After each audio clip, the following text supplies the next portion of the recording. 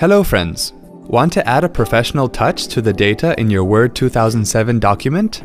You can create a column graph to do so. Here's how. Open the Word 2007 document. Click on the Insert tab. In the Illustrations group, click on Chart. Select Column in the left pane, choose the graph option of your choice, and then click OK. Excel 2007 opens in a split window and displays sample data in an Excel worksheet. To replace the sample data on the Excel worksheet, click a cell and then type the data you want. You can change the data on any cell you want by following the same process. When you are finished inputting the data, close the worksheet and the graph in Word updates automatically with the new data.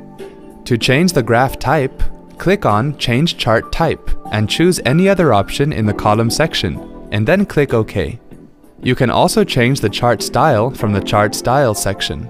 Click on the Layout tab, click Chart Title, and choose the option you want from the drop-down menu to insert a title in the chart.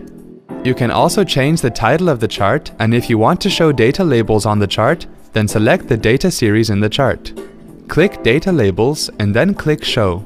Click on Format tab and select Title or any text in the chart. Open the Shape Styles menu and then choose the option you want.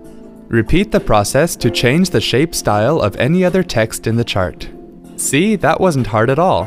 Thanks for watching.